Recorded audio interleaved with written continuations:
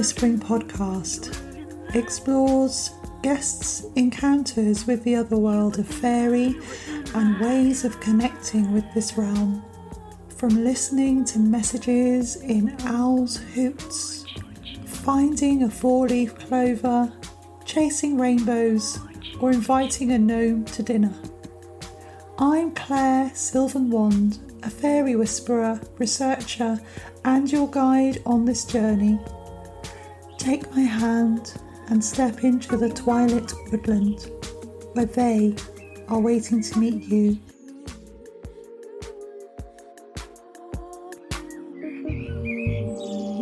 Hello, welcome to the Fairy Whispering Podcast. I'm Claire Sylvan and today I'm speaking with Paul Smith, who is an experiencer since childhood of the other world, and he's had some fairy experiences and other experiences. Before I introduce my guest for this episode, a reminder that you can follow the podcast on Instagram at fairy underscore whispering underscore podcast. I also have a Facebook page of the same name, Fairy Whispering Podcast, Twitter at Fairy Whispering, and on my Fairy Whisperer YouTube channel, where there are video versions of all my episodes, including this one. All show notes are available on the podcast blog at www.fairywhisperer.co.uk and I spell fairy F A E R Y on my website. And if you're enjoying the podcast and want to support my work, please consider making a donation via my Fairy Whisperer Buy Me a Coffee page. Every donation helps me to keep the podcast going. Thank you. Thank you to Third Girl from the Left for allowing me to use their track Oxygen for the show theme music. Now, on to my guest. Hello, Paul. Hello. Hey, whereabouts are you, Paul? I'm in a, a place called Stanford-le-Hope, which is in Essex, just outside of London. Okay, I've never been to Essex. It's on my list because I've got some ancestry there. oh right, okay. Yeah, yeah. It's not. It's not as bad as they paint it. there's, there's, there's some lovely. Uh, there's some lovely um, green belt in Essex. Some lovely natural spots. So it's uh, like anywhere else, I suppose. It's a mixed bag. Yeah, isn't there some forest there? That... Yeah, we've got Epping Forest, which is That's... very famous. Um, mm. Yeah, Epping Forest, and as I say, I, I live near a place called Weald Country Park, which is really beautiful. Yeah. Um, so there are all sorts of lovely places in Essex. Um, I'll have to show you around sometime. Yeah, well, I'd like it. You know, when I come up that way, that'd be brilliant. Yeah. yeah. Mm. I forgot where my my relatives were from. They were from um, oh Takeley. Had some relatives in Takeley. I've never heard of that. Takeley is that is that near Colchester or Chelmsford or? Gosh, I don't know. No, I have no idea. I've not heard it. That must be a very small place somewhere in Essex. Yeah, Dunmow. Ah, Great Dunmow. Yeah, that's going towards Chelmsford. So, right. yeah, that's not too far from where I am. So, yeah, it's kind of north of London near Stansted. I'm thinking. That's yeah, that's that sounds yeah, right. that sort of area. Yeah. Mm. So, Paul, where would you like to start with your experiences? Um, okay, so um, I uh, moved. I was born in the east of London, but I moved to Brentwood with my family when I was about uh, two or three years old. We mm moved into a, a, very old terraced house in Brentwood, uh, right. uh, not far from Chelmsford. Yeah.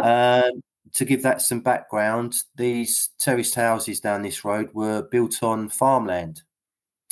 Mm-hmm, um, mm-hmm. And some of my experiences in that house I remember well and some of them have been told told to me because I was so young I've probably forgotten them.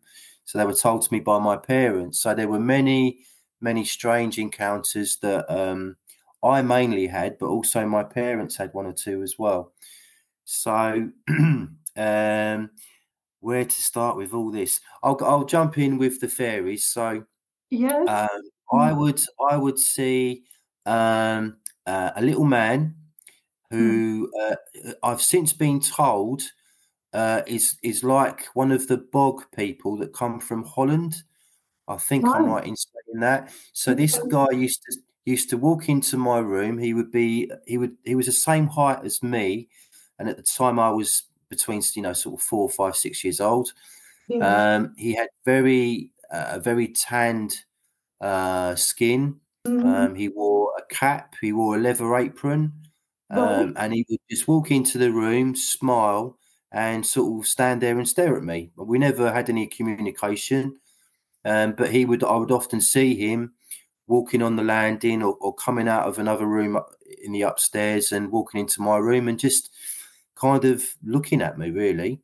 Um, and uh, perhaps a little bit more spectacular than that, if you like, was um, something else I experienced in my bedroom were these female uh, fairies, and they were dressed very differently to the guy that I've just described. Yeah. So the, these um, female fairies uh-huh. look like they came out of the, the Middle Ages. They they had cone shaped hats with veils pulled over their faces. Amazing. Um, and their dress was very sort of medieval. Yeah. Now they weren't very nice. Oh. They used to kind of encircle me in the middle of my bedroom mm-hmm. and push me about a bit. I, I, think they used to speak as well, but I can't really remember anything that was said because I was so young. Okay. Um, I, I, just didn't like them, and I dreaded them coming out from under my bed. Mm. Now, at this point, some people uh, that are listening to me talk about this might think, "Well, you know, you were dreaming it," mm. and I can, I can def, I've, I've given this a lot of thought, yeah, and um, I'm 100% certain that this was uh, not a dream. This was something that I was actually experiencing mm. in my in my bedroom and in the upstairs of my house. Something else that happened as well was um, I would often go into my mum and dad's bedroom at night, and uh, I would say I've been talking to that lady in grey again. And evidently, this lady in grey used to stand at the foot of my bed, and we used to have conversations um, that I sadly don't remember. That's what's been told to me. But mm. my my parents, uh, on at least two occasions, experienced in the middle of the night a mm. woman standing at the foot of their bed, looking down on them as if to say, "What are you doing in my bed?" And Hello? she was dressed maid's outfit. Mm. so these houses were built on old, very old farmland. I see. So that can I can we just go back to sure. um, what you were talking about, the little past the little man, because mm-hmm. that's pretty spectacular, Paul. it was. I know, and I, I, feel, I feel, you know, when I'm when I'm sort yeah. of recalling all this, and I, have told yeah. you know one of the other people about this before, and and uh, you get very strange looks, obviously, um, but the. An interesting thing was I've I've seen obviously because of these experiences mm-hmm. that I've had I've I've watched one or two documentaries about fairies and yeah. I watched one where this guy was talking about standing in a field in a very beautiful remote spot somewhere in this yes. country. Yeah. And all of a sudden he heard uh, it started to rain, but the sun was out, and he heard these uh, voices and singing, uh-huh. and uh, and it was spectacular. And then he happened to look down to his feet, mm. and he mm. saw these two um, little people. Yeah. One one was rolling up his shadow, Mm-hmm. I think the other one was was trying to nick his laces off his shoes or something like that. But the, the way he described them, they were identical to to this guy that I saw in my bedroom. That's when my sort of my ears pricked up because yeah, described them as being a bit dirty looking, very mm-hmm. tan skin, mm-hmm. um, and pretty much the same as as what I saw when I was in um in my house in Brentwood. So yeah. that kind of gave me some uh, verification, if you like. Yeah, I've seen that video that you're talking about because it was, right. it was from a documentary, wasn't it, by a Canadian um, documentary maker. I've forgotten his name. Um, it's something called the the Fairy Path. And had lots yes. of people on it, didn't it? Talking about yeah, something like that. But this, the, the, I think it, it, was that documentary. But this particular guy that I'm talking about was Scottish, yeah. I think, and he was talking about an experience he had in this country. I'm pretty sure. Yes. yeah. But yeah, that was a good documentary. Yeah, mm, yeah, and what you the description as well also fits some sightings of pixies in my part of the world on Dartmoor, where, um, for example, in the 1950s, a woman was on Haytor, which is a, for people who don't know, it's a, a big pile of rocks on Dartmoor, where um, she was there with her son on a sunny summer's day. She was wandering by herself and she saw this little man emerge from the rocks. And uh, he was dressed in similar clothing that you described. It's like a brown smock with um, mm. a cord around his yeah. waist. Um, I think she described him as brown skinned, you know, a bit wizened looking. Yes. Um, so in this part of the world, we call them pixies, but in Essex, you know, similar sort of being. I don't know what was what they called in your part of the world, the fairies. Do you know? Uh, honest with you, I, am not sure. I'm not an expert oh. on this this kind of thing. I just have my personal experiences. Um, yes, yeah. As, yeah, as I understand it, there are many different types of fairies, good yeah. and bad. Yeah, different races. Yeah, yeah. And what did he? Could you describe his facial features? Because I'm I was interested in that. In mm. you know, like their eyes, were their eyes similar to ours, human looking? Well, we never, I never stood um, up close to him. He was well, the the closest I can remember him being to me was about, I'd say, eight foot away, perhaps. Yeah. Um, so he wore a cap. He was kind of tan skin. Mm. He smiled. He looked dirty um, spe- very specific features would, mm. and I mean, I'm, I'm, going back over 40 years now as well. So um, I can't be too specific about his appearance mm. other than what he was wearing and the color of his skin. He wore a cap, etc. Yeah. And the brown clothing as well, because on farms, people, um, you know, in the old sort of pre industrial times, mm people in farmhouses talked about the brownies, didn't they, that came in to help people in the farmhouses and, you know, this idea of the brownies. So I want, I'm wondering whether he could be a remnant of those spirits that were that, yeah. farmers on the farmland. Um, that would make a lot of sense, definitely. I didn't know that. And that's yeah. um yeah, I've got goosebumps now. That's that's that's very, very interesting. Yeah. So was he he came across as a friendly spirit. Well, he wasn't. He wasn't unfriendly. He. Oh. I remember him. He was always smiling. This guy. He was always smiling. So, and I, I mm. um, just trying to remember now. I don't ever remember being frightened by him at all, or no. you know, feeling in any sort of danger. But um, it was different with the female fairies that I saw in my room. They were a different, um, different thing altogether, really. So were they human like? I mean, how what sort of yes. size were they? Yeah, so they were very yeah, they were human like, but as I say, they were I remember them as being my height, and at the time I would have been between sort of four and six years old. So yeah. uh, maybe kind of, you know, two to three foot tall. Okay, so like these little women, little people. Yeah. yeah. And they yeah. were sort of how many of them were there, Paul, did you say? Um, I I would say at any one time at least six or seven, six quite a few. Seven. Right. Yeah. They oh. used to encircle me. They used to encircle me and, and prod me and, and poke me about. And uh, oh, I don't remember them being very friendly at all. Um, mm-hmm.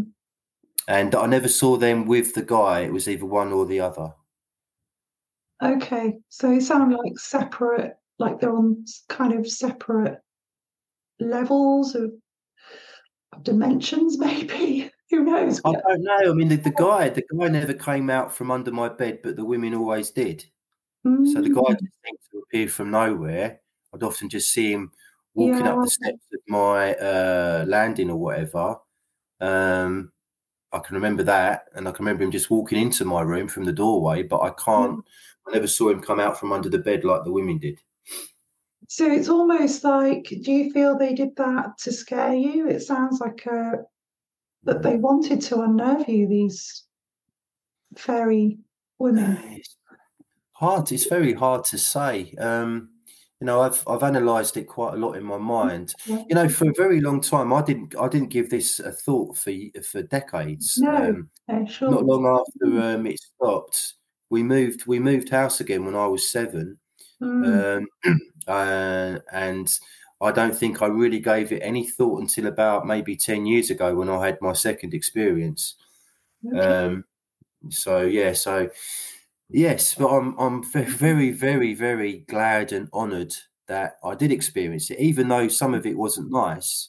Yeah, it was uh, something that, as I understand it, most people don't ever experience, even as children. So, mm. so I was mm. very lucky in a way. Did you get a sense of why they were pushing you around? Was it just for the sake of being unkind, or were they trying to tell you something, or well, I could be getting this wrong because, as I say, it was a long time ago. But I, I would kind of veer towards the latter. I think that they were just generally not very nice. Not nice, yeah.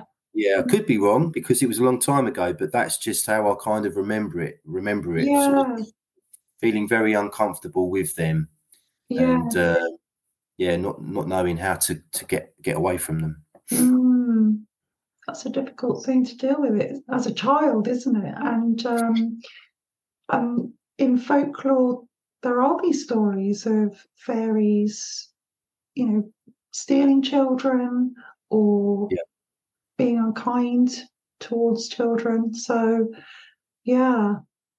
Did the women you do you remember any colours of their clothing? Did you see them in black and white, or was it full color? Because I know some full people color, definitely full color. Yeah. Um, I can't I can't be too specific about uh, the patterns or anything like that, but mm-hmm. I do just remember their costume, if you like. It, it came across mm-hmm. to me as a kid as being like a costume because they looked their dresses and their veils and, and cone shaped hats look very medieval to me. Yeah, it sounds it. And it's you know, it's interesting. I spoke to other people that have seen fairies in medieval dress.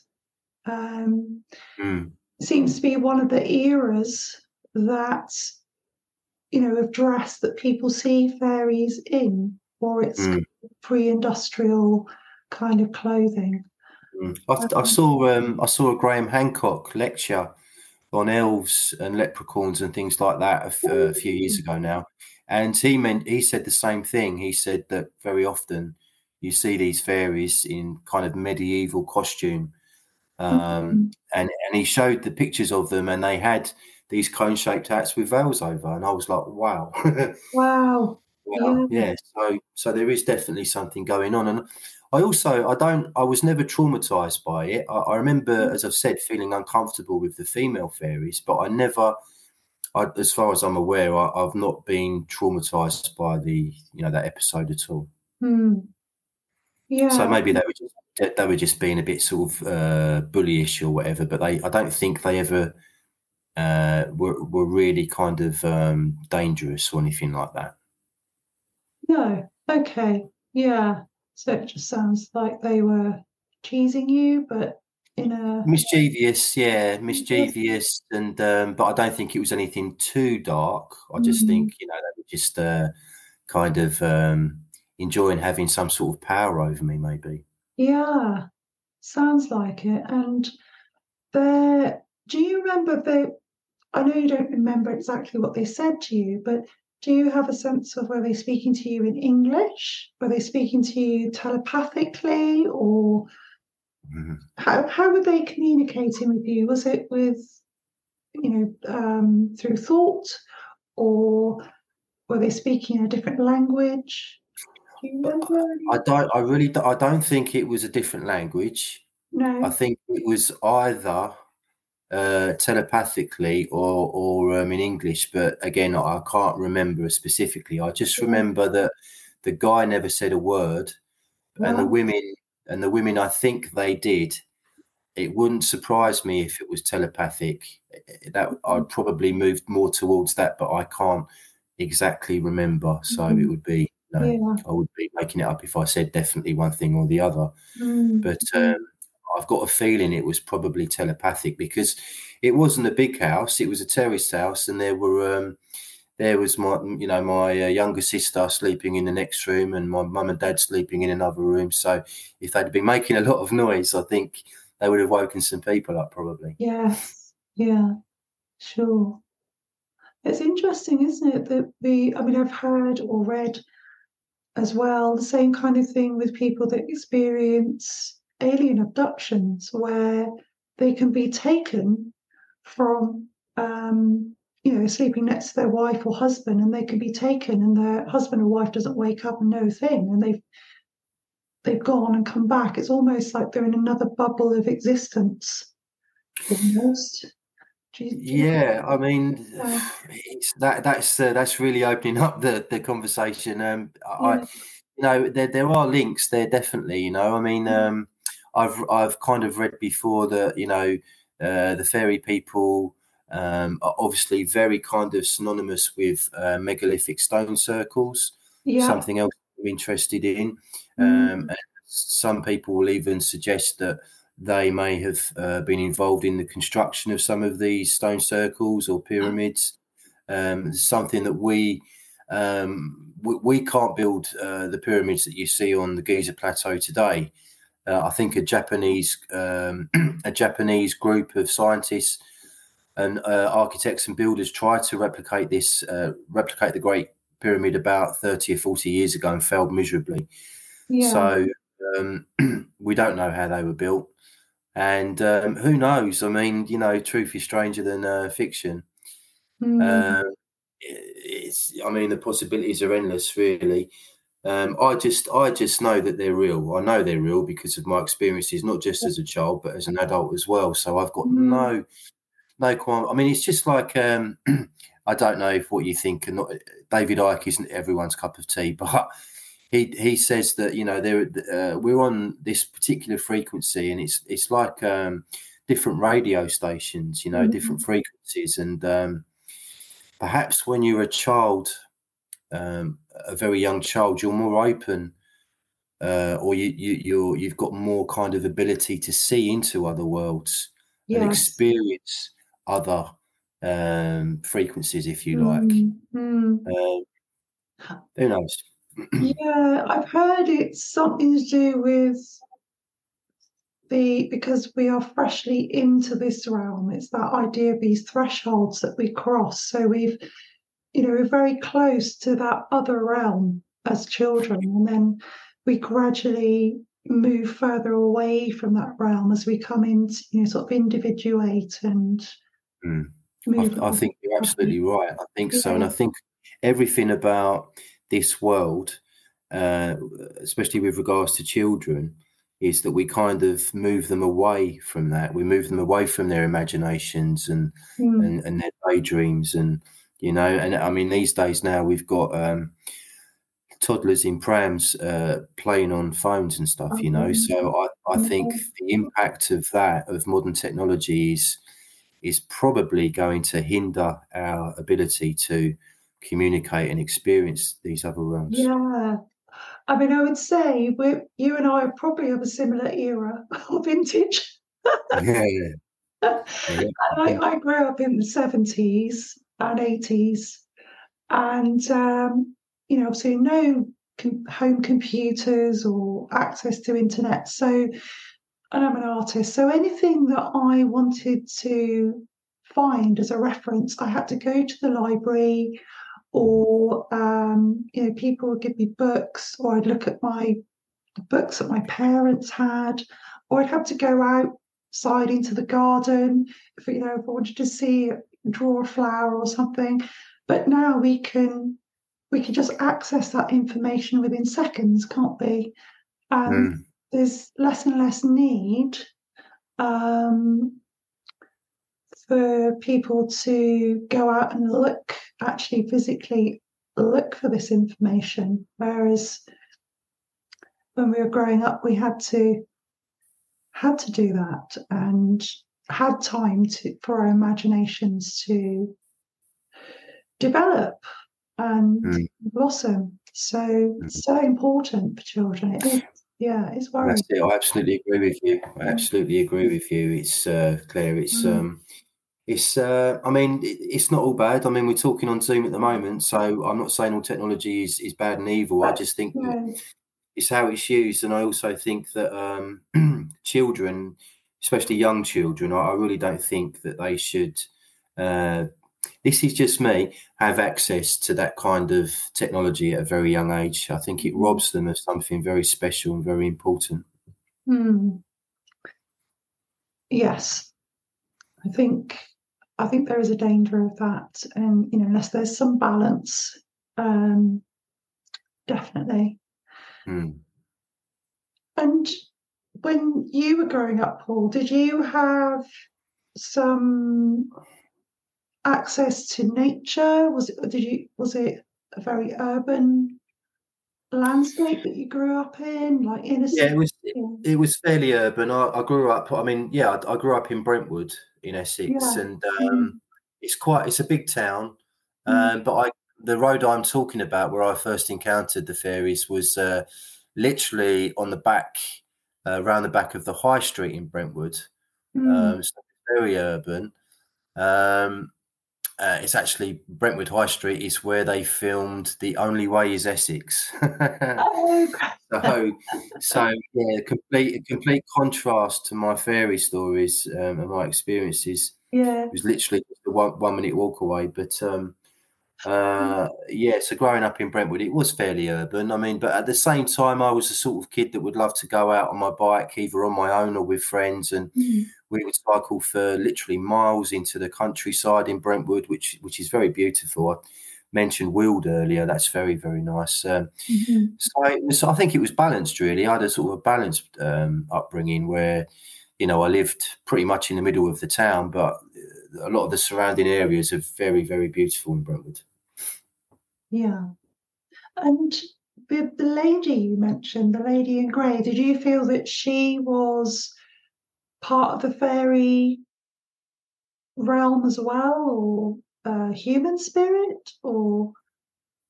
Sorry, the, which lady was that? The oh, the lady in grey. The, the lady in grey at the foot of the bed. Yeah. Yeah. I, I have no memory of that. That's something that my mum has told oh. me about as, as an oh, adult. We used to come into our room in the middle of the night and you used to mm. say, I've been talking to that lady in grey again. Uh, whether that was the lady that my parents saw at the foot of the bed who was dressed in an old farmaid's outfit, mm. I, I, don't know. But um, I, I have no memory of that at all. It's just something that evidently I did quite a lot. It happened quite frequently. Oh, isn't that interesting that you've got a farm maid there mm. this brownie type fairy. The yeah. fairy. I mean, I, I can remember um, the, the, the female fairies. Their skin was quite dark as well, right? So they could have been of the same race as the little guy. Yeah. Um, they, but their their what they were wearing was very different. They they looked like they just um, come out of some sort of medieval ball, if you like, oh, you know. Okay. Yeah. The guy like he'd been, he was like, he looked like, he looks a bit like a, a blacksmith or something.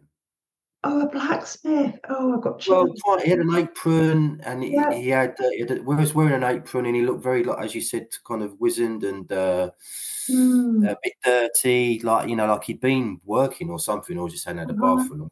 I don't know, but um, but yeah, but so yeah, I, I, guess you could say if you if you imagined like an old a very old blacksmith from I don't know a few hundred years ago. Yes, that that would be what I was looking at. Only obviously this guy was probably no more than three foot tall. Yeah, and what was there? Did he look humanoid, or was there? Yes. Did he have yeah. features about him that were different to us? For example, the classic, you know, pointy ears or well, he was wearing a cap, so I don't remember seeing his ears or noticing his ears particularly. Um, uh, he may, he may, his teeth may have been golden. Thinking about it, a bit yellow. Thinking about it, he was always smiling, as I say, and um, yes, but specific features, uh, you know, sort of forty years on, are very difficult for me yeah, to sort of sure. remember. Yeah, appreciate that. So, where would you like to go to next? If you is that everything you wanted to share about those experiences? Um, well, I had um, so that was the, the my childhood fairy experiences ended when I left that house to to move okay. uh, a mile down the road. Mm. Excuse me, one moment. I'm just going to um, yeah. one second. Back, yeah. Um, um, so the next experience I had was about nine or ten years ago, and that was a very different experience, and it it wasn't local to me at all. I was um, I was celebrating so- summer solstice at Avebury, mm-hmm. um, and having a very good time.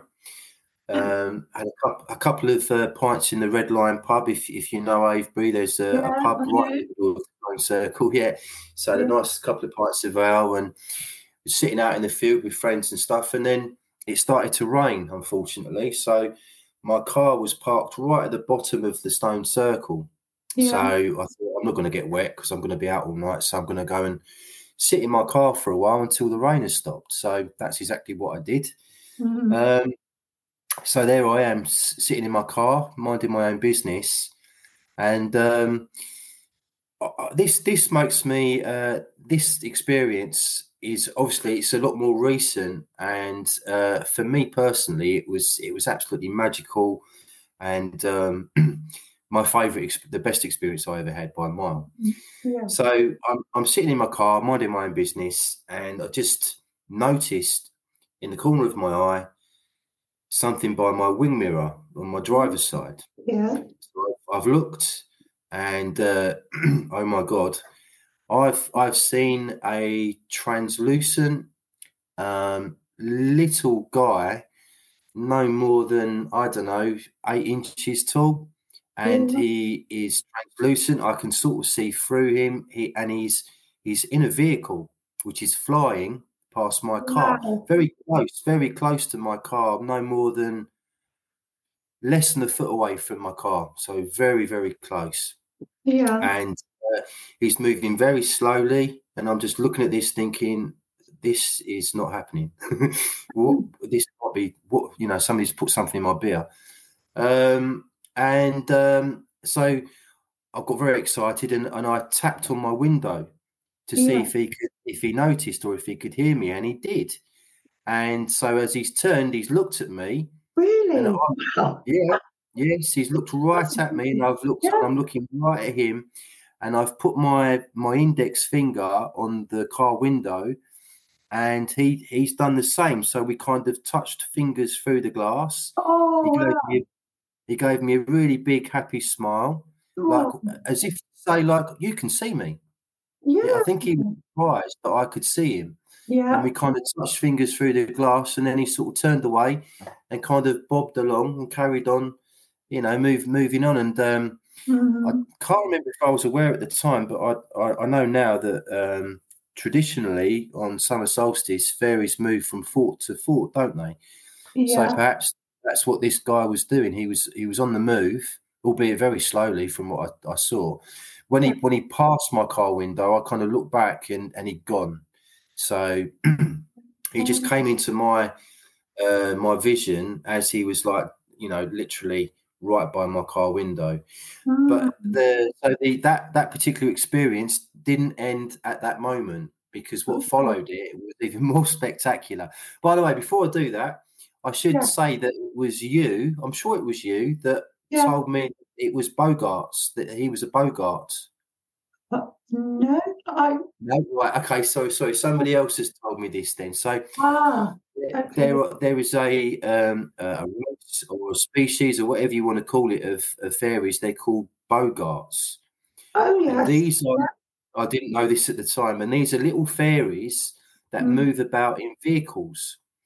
Now, there's there's a story you can find it online about these children that used to encounter these Boggarts and they used uh, and I think they even made a television program about it. I'm going back possibly to the 70s.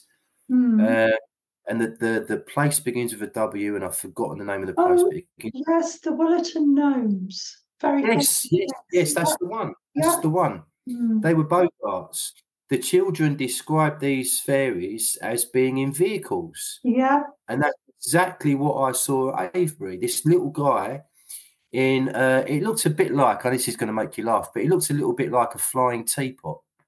Oh wow. Yeah, that's I mean, I don't know if it was literally, you know, I don't know if that but it just had that kind of shape. Almost like um, like a, uh, a lamp, you know, like a what's he called? Yeah. Um, yeah, yeah, the lamp, the genie. Uh, oh yeah, the genie.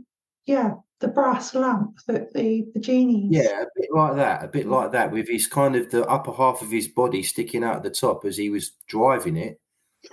Um, so Oh. anyway, so I found out about those Boggarts. So so that was some more kind of like you know verification of what I'd experienced. But as he passed, Yeah. uh, the next thing that happened was even more spectacular. So right. so that, that uh, literally within a few seconds of that ending, no more than say 10 Mhm. seconds, if I remember it, Yeah. Yeah. I looked out. I'm, I'm at the bottom of the Avebury Stone Circle, parked up in my car. There's there's a, a, a small line of houses where I'm parked, Yeah. and I've looked out across the road. I think it's the Bath Road.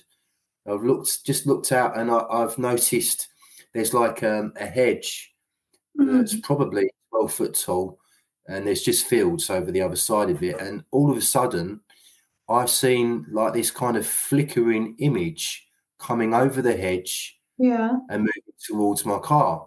Oh. And as as as it kind of got closer, the flickering slowed, and I started to be able to see these kind of 3D images. Oh wow. Uh, Mhm. And this happened five or six so i got five or six different images one after the other. I can i only could make out the the last two images that were that came at me. Um the the penultimate one was uh just very very very weird. I'm not even sure i can like tell you about it because it was bizarre Oh, I'd love but to the- hear. try. Try and describe. it. okay Okay. Well, I'll tell you what. I'll, I will tell you about that. But, but I'll tell you about the last image first. So the last image I saw. Yeah. Do you, do you know? Um, do you know the Vitruvian Man that was painted by Leonardo da Vinci? Yes. The the The man. man with the arms outstretched and the legs outstretched, and Yeah. that was da Vinci's way, I think, of saying, you know, man is made in the image of God, as above, so below. Yeah. So I- the last image I saw were, were of two Vitruvian men, what looked like Vitruvian men, and they were kind of facing each other um, as uh, as I saw them. Yeah. And for me, afterwards, I saw this as verification of questions that I'd been asking about reality at the time. Um, you know, I was uh, cut a long story short. Basically, I was I was really sort of investigating who we are as as human beings. Where did we come from? Where did we go to afterwards? All that kind of stuff. yeah. And that was kind of like the perfect answer. So, are you are you are you Yeah. sure you want to know about the penultimate image? Before we move on to that, yeah, go on then. Yeah. uh, yeah, I'm interested in these images of the the Vitruvian men images. I'm just interested in what what answer did it give to you? What was your personal? The the man is made in the image. Man is made in the image of God. That that's how I took it. That that um that we we were created by um a superior being or a superior species of beings that um I think look just like us. Hmm. Okay. angels or whatever. I don't know, but that that's just how I interpreted that. You know that we we didn't we're not. I don't personally believe that we evolved from monkeys. I don't think that's you know I think that's uh, false. Um, I think we came here or we were created, if you like. Um, for a long time, I thought that we might we may have been genetically manipulated throughout the history of this planet uh, by another species, or whether it was aliens or whatever, I don't know. That's alluded to in the film 2001 A Space Odyssey. hmm Um, for a long time, I thought maybe there is something in the theory of evolution, and just along the way, something has kind of interfered with us and manipulated us genetically, and now we find ourselves as you know uh, the species that we are today, if you like. But um, who knows? At the end of the day, the, the last message I got, that that the last image I got, that's how I interpreted interpreted it. Was yeah. that you know we we're made in the image of of God. Yeah. Okay. It's interesting that you've you've got all of these different levels of experience going on by the sounds of it with this very sort of being from what we would term as the fairy realm. And then there's those crossovers with possibly crossovers with extraterrestrials. well, yeah, some people, some people, as you as you kind of alluded to earlier in our conversation, you you know, you said that some people experience um, uh, being abducted, mm-hmm. uh, and, and, and, you know they they're suggesting that it's actually the little people, or and I I saw another documentary that was based in Iceland because Iceland has a rich tradition of of uh, fairy folklore. They, they take fairies very, you know, very seriously, like the Irish do. Mm-hmm. Um, and the interest, this, this, I watched this documentary years after, uh, quite recently. Mm-hmm. Um, my experiences in Avebury, and um, there was a psychic, uh, clairvoyant woman. Yeah. She was standing in the middle of literally middle of nowhere in Iceland. It was just mm-hmm. a, a kind of marshland, and there was some rocks yeah. And she stopped, and, and the camera crew stopped with her, and she said, uh, "I'm communicating with a little fairy. Um, uh, there are literally hundreds of fairies in those rocks now. They're gathered together. There is uh, a fairy man who is giving a lecture to all the other fairies, mm. and this hmm. was being communicated to her by um, this little fairy that was sitting towards the back." And and she was saying that the the fairies are communicating to each other with uh, 3D images. Oh right, yes. Uh, and that at that point, I fell off my chair wow. because I was like, "Oh my god, that's that's what I saw. That's what I saw in Avebury." You know, I saw the little Boggart man fly mm-hmm. past, uh, kind of fly past my car, and then I saw these flickering images coming out from mm-hmm. over this this hedge towards my car. And I thought maybe, I don't know, maybe that was his little present for me.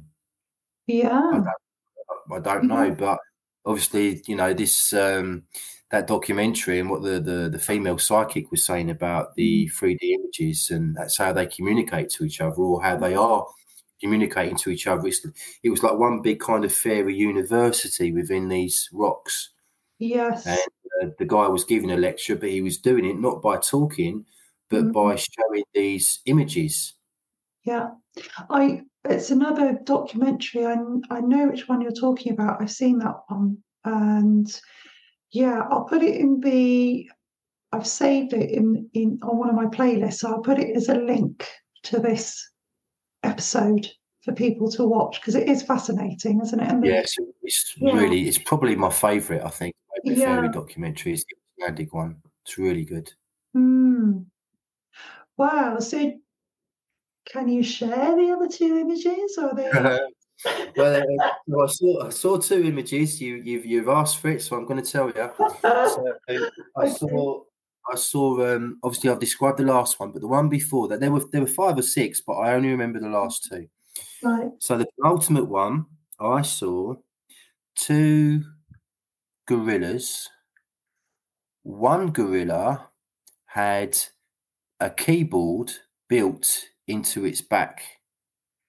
Uh-huh. And the other gorilla was behind it playing that keyboard. And I'll put this in a polite way. Yeah. Uh, making love to the other gorilla at the same time.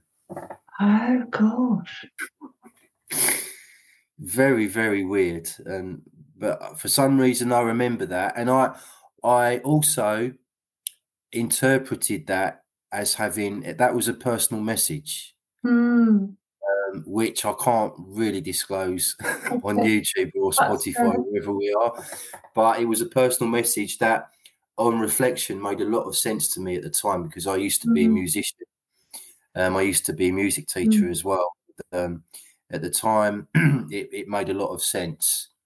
Okay. So it was a personal message, but that that's basically mm-hmm. what I saw anyway. So they they were just project projecting something that was uh, meaningless and abstract and and kind of like weird.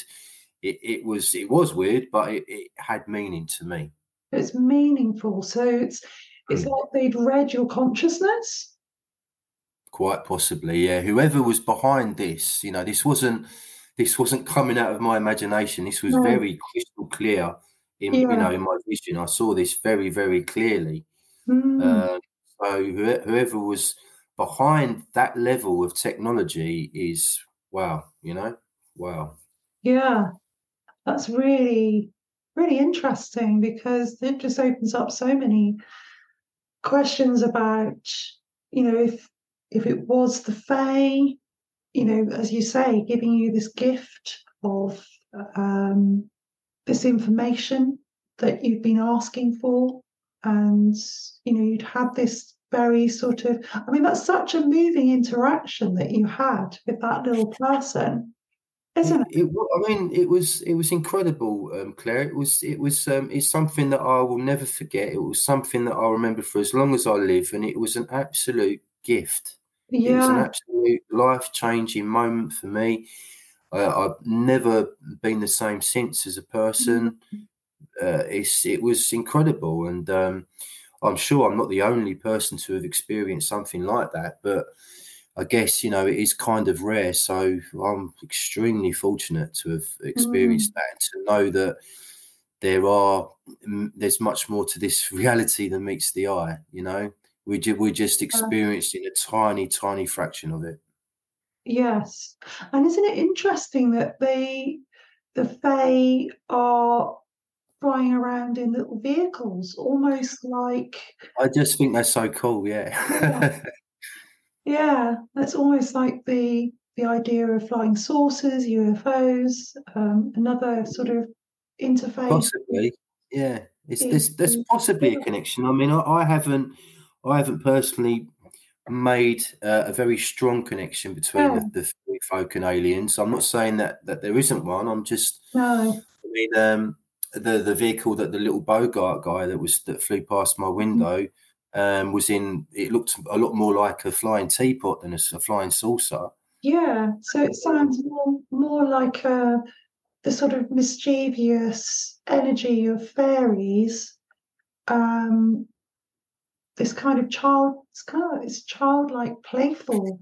It was, yeah. I mean, this guy looked a bit like a cartoon. It looked, it looked. I mean, he was real. I know he was real, and he was like a, a spirit. Yeah. I was seeing a spirit, but mm. um, he, he, his actual features, if you like, were almost kind of cartoon-like. And so, for quite a while afterwards, I wondered, um, you know, where did those Disney cartoons come from? Those yeah. characters, like for example, Jiminy Cricket. Mm. I mean, hmm. that that's quite a close representation of what I saw in Avebury. Okay. You know, it's not too far yeah. away at all. There's also, I, I should add, there's also, um, I don't know if you're a big music fan, but there's there's a big, um, there was a band in the seventies, a progressive rock band. Yeah, they were called Gong, G O N G. Oh yeah, and yeah, the, the, yeah, I'm a big fan. The lead singer Daevid Allen who's yeah. uh, sadly passed away a few years ago. Um, he experienced these, he had the uh, encounters with these beings quite regularly, and he described them as, as being in flying teapots. So, right. so I'm getting chills because I have spoken to, you know, to friends that, um, for example, had taken mushrooms drunk a lot mm-hmm. of tea, and then mm-hmm. seeing what they described as pixies, as a particular person said that it was like pixies flying around in cups and saucers. Yep, yep, exactly. Um, yeah. So yeah, I, have um, have I had a similar ex- not not I no I, have I've done similar substances and had similar mm. kind of experiences, but not not as uh, kind of specific as the Boggart guy that I had in mm-hmm. Avebury. I don't. I promise you, I only had two pints of beer that night, so there, that was not assisted in any way at all. No, uh, no. But, but, yeah, but um, I, I have I've seen things move about in in vehicles in in the mm. sky when I've been on substances in the past, yeah. um, but nothing as as clear and as you know sort of crystal clear as what I experienced in Avebury, and that was just you know. Yeah, that's that is amazing. What a special experience! Thank you for sharing that. It's a pleasure. It's a pleasure. Yeah. It's a pleasure sharing it. You know, I yeah. I used to be quite embarrassed that I didn't talk about the my fairy episodes in as a kid until mm. uh, about maybe 10 years ago. Right. Um, yeah. And I, I, mentioned it to a family party once. I think, you know, I just came out with it mm. and uh, got a few smiles and a few sniggers, as you do. Um, but uh, I'd really forgotten about it for quite a long time. And it was um, probably the Avebury experience that kind of uh, triggered the memories of, of being a kid and experiencing what I did in Brentwood. So, yeah. So yeah, it's it's an absolute gift that you you you really unless you've experienced something like that, you really can't appreciate it. You know, it's uh, mm-hmm. it's very mm-hmm. real, mm-hmm. very real. It's not it's not in any way, shape, or form a, a hallucination. No, you're seeing into another world, mm. and uh, it's that and that itself is is a great privilege. Mm. Yeah, and I, I mean, I from my own experiences, I know it's a it's a very heartfelt experience. It's something that you feel in your heart, feel mm. physically. Um, yes. And like you say, it does change your perspective. It's a very mind opening, perspective changing mm. um, experience of the world. I mean, um, when I was at university, uh, my first sort of visual experience of, of a fairy, and I didn't have fairy encounters um, as a child. I had other strange experiences. But yeah, it was at university and and I feel that experience where I saw this little being sat in my rubber plant or fig plant, they're also known as, next to my bed um, in the middle of the night. Just very briefly, this little figure sat in that the plant. Um, I think that was to do with my connection with the landscape. That's what I feel anyway, because I was I was in Wales, I was missing Devon, I was missing Dartmoor, which I'd grown up feeling very close to and um, I was reaching for some connection to the landscape. And through my arts, which I was doing at university, I was going out on the Gower, which is quite similar sort of landscape to Dartmoor. It's very rugged. Mm-hmm. Um, lots of there is fairy folklore um, from that area as well. But I didn't know about that. I didn't know anything about the folklore mm-hmm. in that part of the world. So it's almost like I was reaching out for this connection. Reconnecting with the landscape. And then I had this almost like this little affirmation that came from the mm. fairy to say, Yep, we're here. mm-hmm. That's yeah. lovely. That's yeah. really lovely. I don't think I've ever met anyone else that has had a fairy encounter before. So that's the first for me. So it's right. it's lovely being able to have this conversation today with you. Yeah, yeah, and oh yeah, you know had other experiences and written about them, and um, on different levels, not necessarily always seeing fairies, but just experience feeling their mm. presence. So, I mean, how did you're talking about how that life changing that was for you that experience? How has your life changed since then? Did once you left um, Avebury and moved on with your life back at home, were there any um, changes that happened for you? Yeah. yeah. Yeah, I mean, prior to, prior to that, I was an estate agent, and if there's any estate agents listening to this, I'm not knocking estate agents at all. Uh, but um, shortly after that, that's when I became a music teacher, which I did for the best part of ten years. Um, and uh, that came to an end, unfortunately, with COVID. Um, but now I'm um, I've just well I've I've been running a uh, a supplements and herbs business now for the last two years, mm. two and a mm. half years. Um, so I guess my my priorities are very different now to what they used to be. Um, you know, I'm, I don't. We all we all need money to survive, but I'm not a carrot chaser in any way. You know, I'm um, I'm a lot more grateful for everything that comes my way. I, you know, I practice gratitude all the time. Mm. Um, I see life very differently as a as a result of that experience in Avebury. Definitely, you know, I'm a lot mm. more open minded to lots of different things. At the same time, I, I you know I can discern uh, you know what I'm being told is is true or not. You know, it, yeah. but yeah, I'm basically a lot more open minded because I know now that there's so. As I said before, that we were only experiencing a tiny part of what's out there. Yeah, a tiny part of tiny fraction. Definitely. And mm. yes, I'm with you on that one. Otherwise, I wouldn't mm. this podcast.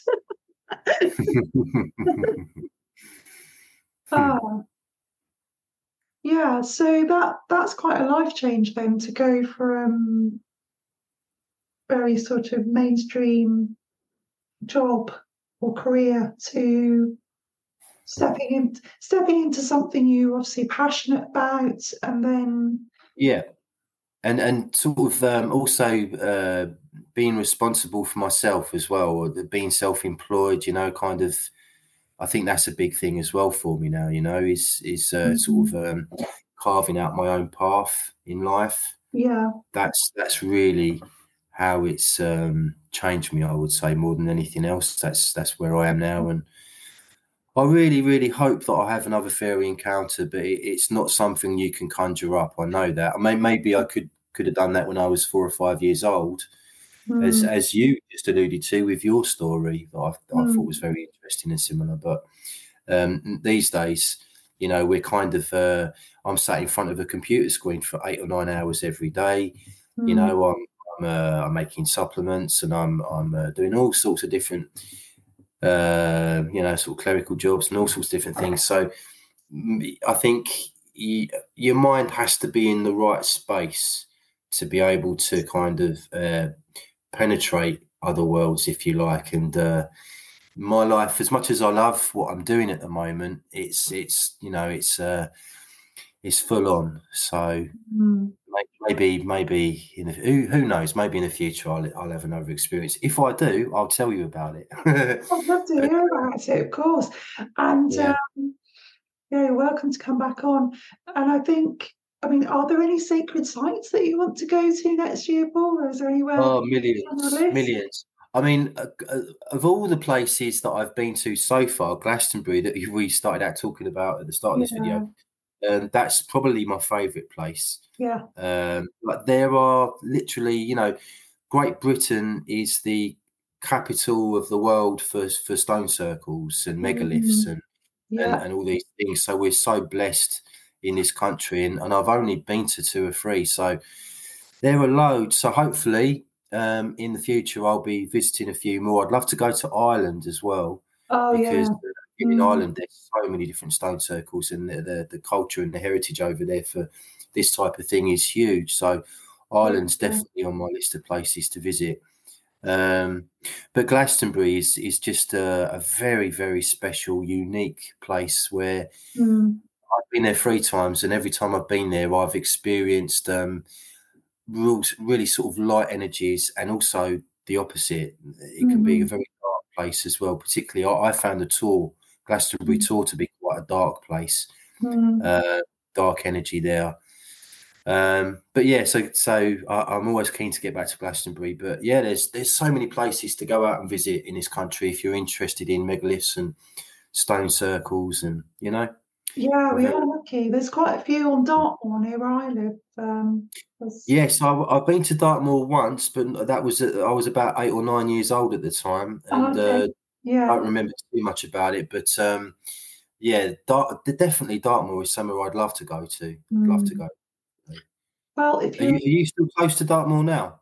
Yeah, I'm only oh, about twenty-five minute drive Oh, lovely, lovely. I had a, I had a friend who, who went on his own and he, he kind of stayed uh, camping, wild camping in Dartmoor yeah. for three weeks. Wow. And he said it was one of the, the best things he ever did. He just loved it. And uh, mm. that's something that I would like to do definitely. It's just a wild camp in Dartmoor for a while. Yeah, that's something I've never done either. So, yeah, mm. something I'm aiming to do next year. Mm. oh, it's been wonderful speaking to you, Paul. And you. Thanks for coming on. And um, please do share anything you want to share about your your work that you do, and I'll put up your links obviously under this episode. But is there anything that you've got going on that you want to share? Sure, yeah, I'm I'm very very passionate. Other than about fairies, I'm I'm very passionate about natural health. Um, mm-hmm. So I started my own supplements company in 2019, mm-hmm. um, and it's like I say, it's something that I'm very very passionate about. Mainly because I don't you know, looking at all the science literature out there, I don't believe that you can get all the essential nutrition that you that our bodies need just from food anymore because of mm. the decline in um, food production. Uh, the soil in our farmlands is, is so depleted now with nutrients because of mm. uh, industrial way they farm and the sprays and all that kind of stuff. So, mm. um, and that's why if you you know you look around you now you'll see so many people with so many different autoimmune disorders and mm. all these things that we'd never heard of you know as little as 40 years ago.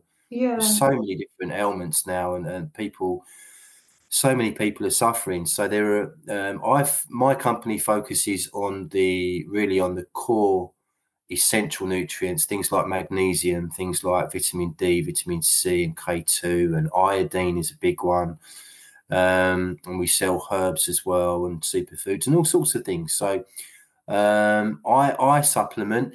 There's still that kind of train of thought out there that you know, um, oh, you can get everything you need from food, but it's that's just sad. Oh, sadly, I wish it was true, but sadly, that's just an old cliche now. You really can't. And mm. um, so I believe that we do need to supplement our diet with some mm-hmm. nutrients to, to avoid all that unpleasantness that I see so many people around me suffering with. Hmm. So people can find all that information on your website. Um, yeah, nutrientnirvana.co.uk. Brilliant. Okay, and you've got you've got a podcast as well, haven't you? Well, I, I uh, yeah, it's uh, I've got a YouTube channel uh. Uh, called Nutrient Nirvana, yeah, and uh, but it's not all um, it's not all nutrients and supplements. I've um, we I've talked uh, I've had guests on Maria Wheatley. I don't know if you know her, but she's been on the channel a few times. Yeah. Ralph Ellis. Ralph Ellis is the man who's discovered the historical Jesus. Um, he's found him in the historical record. Um, I've got about 30 uh, interviews with him on the channel, which are absolutely mind blowingly fascinating. Ooh, so I'm, really into ancient and biblical history, and mm. and there's a few fairy videos on there as well, and um, you'll find all sorts on there, basically. Brilliant. I'll put all those links in the notes for this show. And thank you. thanks for your time talking to me today. It's been a really fascinating discussion and um, yeah, very thought provoking as well. So appreciate your time. Thank you, Paul. It's a pleasure. Thank you, Claire. Yeah. Cheers. Take care. Bye. Have a great evening. Um, you too. Bye, bye. for now. Bye. See ya. See ya. Welcome back. Thank you for listening to the end of the podcast. I hope you can take something away from this conversation. I'd love to hear your thoughts. You can contact me at claire at faerywhisperer.co.uk. I'd love to hear from you, or if you'd like to be a guest, please contact me as well on that email address. See you next time. Remember to keep your heart open and be the change.